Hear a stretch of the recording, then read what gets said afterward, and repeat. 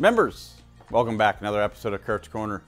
What is going on around here at the club? Well, it's 112 degrees outside. Uh, literally, that's like the heat index uh, yesterday, today. Um, but again, we're rocking and rolling. Uh, we've had a very wet uh, July, uh, but thank you, Dan, your grounds crew, members that have helped out this past month. We can't say enough with uh, flash flooding and what's going on around here. Place looks beautiful. Our team got to get out and play the other day, a little team building, and course looks great. so we love it. So. What's going on? Uh, we're getting ready to dive into August. Um, things are changing. Kiddos will be back to school here soon. It's hard to believe, um, but that doesn't mean that we're not going to uh, have golf going uh, heavy and strong for the next few months, and maybe uh, Mother Nature gives us a nice fall. Golf shop wise, here's what's new and exciting. Ladies, we just put out a new collection of uh, fairway and green. It's actually probably a nice touch for late summer going into fall. It's still sleeveless shirts, short sleeve shirts, skirts, but the colors schemes are starting to change, so we love that. Uh, back here behind me, you'll see the uh, photos from Jessica in the email. FootJoy has put out a nice collection with us. Uh, it's already starting to sell well. A little bit of a green pop, but trust me, guys, it still has the color blue in it uh, in most of them, so we have that. We still have new Peter Millar coming. I know we've been asked uh, for the past two weeks. Peter Millar sells out quickly. I have some coming. Don't worry. Just trying to make sure we have plenty of batches, and that'll be here as well. So uh, that's where things stand.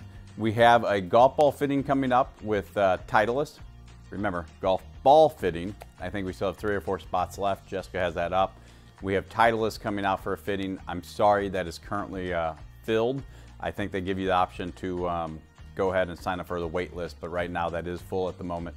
Um, and again, what you'll see, I need to get the full details from Dave, our sales rep, but Callaway is getting ready to release a new line of the Apex irons. Uh, last year in the fall, they did the Apex Pro, the TCB, the things that were geared to the players collection. This will be the standard Apex, which is most of our members that play Apex. That's what's going to make sense.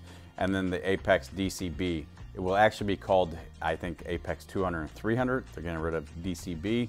So uh, they've changed it. We'll get uh, help you get acclimated to that. But we are having a fitting day with Callaway on the 9th of August. We're really trying to gear this fitting day to Apex irons that are getting released on the 10th of August, so you'll get to see them a day early, and the new Opus wedges that came out last week. We're not trying to do too much on the side note of, you know, smoke and whatnot, but that's where it is. However, I'm sure they'll have it, so I'll get full details, but watch for the link as well. With that all being said, that leaves me with my dad joke of the day. As I've told you in past episodes, I'm uh, getting older and forgetful, so I'm going to just cheat. How does Darth Vader like his toast? On the dark side. See you soon. Have fun. oh.